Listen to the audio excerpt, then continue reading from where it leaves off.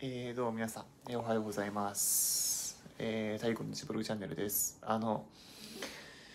今日ね、あの、いい天気ですよ。朝からね、えー、ちょっと見ますか。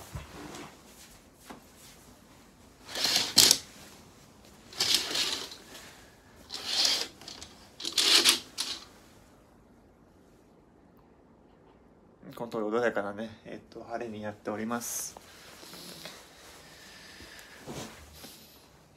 まあ、生阿弥陀仏っていう、まあ、皆さんがよくねあのメジャーとして使われている、まあ、あの題目を僕もまあ使ってみて思うのがなんかこうあんま取り囲まれないなっていう感じはもともとあってであのまあ、僕なんかもともとね、まあ、日蓮宗の、まあ、南明法蓮華経とか新如来の新如来大仏経で使ってましたがあれだとどうしてもね他人他人に取り込まれちゃうんで大変だなと思っていたところ、まあ、生阿弥陀あ南無阿弥陀仏にたたたどり着いて、まあ、使っていたら取り囲まれなくなりましてであの、まあ、これって気のせいかなと思ってねいますし、まあ、実際長期的にまあ使ってみて、まあ、結果がどうなるかっていうのをまあいう感じとしておきたいなと思うんですが。まあ、最近は旅の需要の落ち込みって激しいんですね。特にまあ全国的に見ても、まあ、あの旅の需要の落ち込みはまあ非常にまああのねちょっとあのよく見られるこうあのことで最近知られてますね。で特に経済のが結構悪いと言われていてでまあいかにこう若者とかがですねまあ旅ができるかっていうところで、まあ、そこの旅からお金を使ってこう全国にお金が回るようにって、まあ、そういうのが、まあ、昔のね、まあ、安倍さんの時代はね、まあ、よくできたんですけれどもそれ以降のまあパンデミック後からは経済経済のそういう動きができなくなっている影響で、まあ、大変なことになっているそうですね。うん、で僕なんかもまあよくねそういうのって中学ねどういうふうに皆さんが旅に出てるかって見るんですけれども、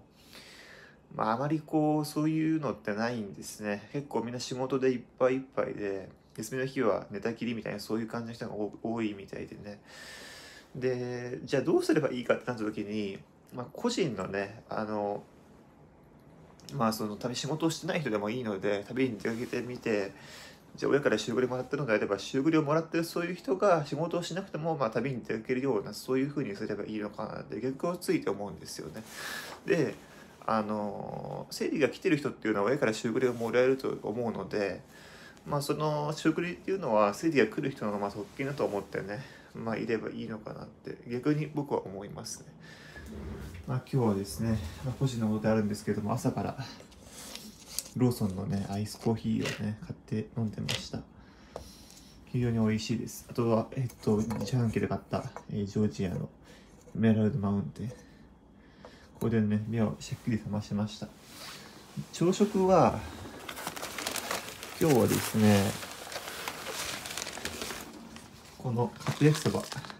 食べたいと思います。まあ、体に悪いとはね、まあ、思ってますけれども、美味しいんでつい食べちゃいますね。で最近買ったものとしてはねいろいろあるんですけどあのーまあ、紹介します。これがこのリュックサックもねテムで購入したものですね。で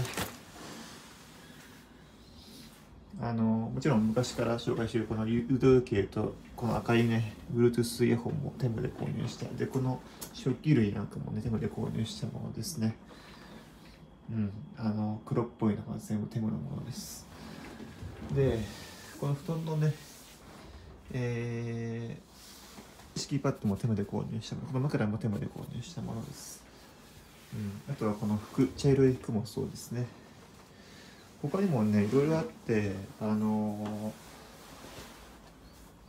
この銀色のコップもそうでえー、このタオルもそうでしょ。でこのトランクスもそうですね。うん。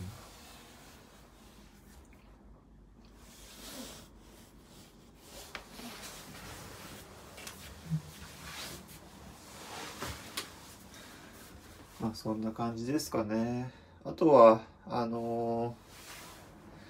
今ね、えっと、新しいイヤホン4種類も、まあ、頼んでるので、まあ、近々家にやってくる予定になっております。はい。大事なこと言いたい、言い言いそびれましたが、こちらの椅子もね、手まで購入しましたが、こちらのね、あの、椅子はですね、あの、2週間に1回ぐらいね、ネジを締め直す必要性があるみたいですね。やっぱね、使ってると緩むもので、やっぱり危なくなるんで、こういうところを開けたりして、開けたりしてね、ネジの頭を出して締め直したり、あとは他のところもいろんなところにネジのね、あの頭があるんで、まああの、そこを締め直すっていう作業作業が2週間に1回ぐらいね、必要になるみたいですね。今後意識していきたいなって思います。はい。皆さんもね、こういう椅子を買った際にはね、あんまりこう緩みすぎると突然壊れるなんてこともあるんで、よく注意して、して使ってほしいなと思います。まあ結局、結局そういう風にしてちゃんとあのメンテナンスをすることが、長い目で見た場合、長期的に使えるように、ね、なるんだと思います。まあ、一度部品が損傷してしまったらね、まあちょっと大変なんで、やっぱ定期的に締め直すっていう作業が一番重要なのかなと思います。まあ実際ね、あの、緩んでくるとガタガタ言ってくるんですぐわかると思うんで、ね。まあそんな感じですね。まあ今日はね、えー、ちょっと、まあこの辺で動画失礼したいと思います。ご視聴ありがとうございました。ではまた、これから歯磨きをして、えーちょっとね、朝出ていきたいと思います。バイ。ありがとうございました。